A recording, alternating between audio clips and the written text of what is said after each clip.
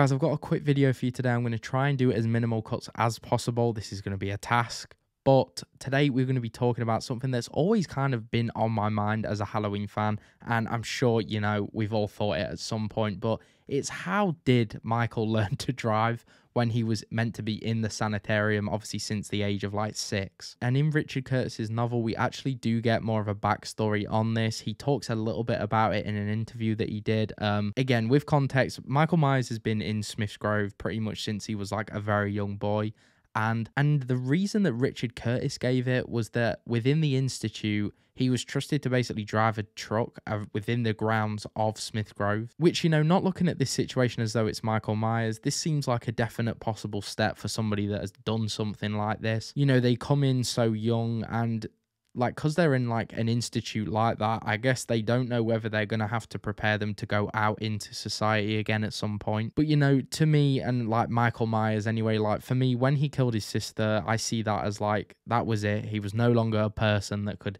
be taught anything do anything like that. He is just the shape and he just does. And so the idea of him like taking literal lessons um, as he's grown up, whether that was him as like a 15, 16 year old, is pretty insane. It's interesting for sure. Um, I like to think that he just kind of got in and guessed. Um, even better still, I prefer to just not see him drive at all in these films. I do find it hilarious seeing him like when I pause it and you know you can kind of zoom in a little bit and see the mask. And yeah, it just looks very funny, but that is like one reason that has been given in a novel anyway of why Michael is able to drive. And I just found that interesting. I thought I'd share it with you guys if you haven't like read up on that or anything. But yeah, if you have any other like theories or ideas of your own in which you think that's why Michael knows how to drive, let me know down in the comments below and I will see you guys in the next one.